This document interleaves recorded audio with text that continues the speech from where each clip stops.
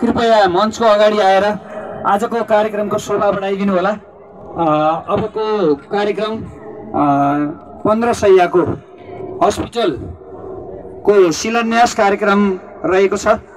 तसर्थ उक्त कार्यक्रमलाई अगाडि बढाउन सहयोग स्वरूप सम्पूर्ण महानुभावहरू कृपया मञ्चको अगाडि आएर कार्यक्रमको शोभा बढाइदिनु होला। अब शीघ्र नै हाम्रो कार्यक्रम सुरु हुन गइरहेको छ। हाम्रो कार्यक्रमको प्रमुख अतिथिज्यू मञ्चमा उपस्थित भइसक्नु भएको छ। तसर्थ हाम्रो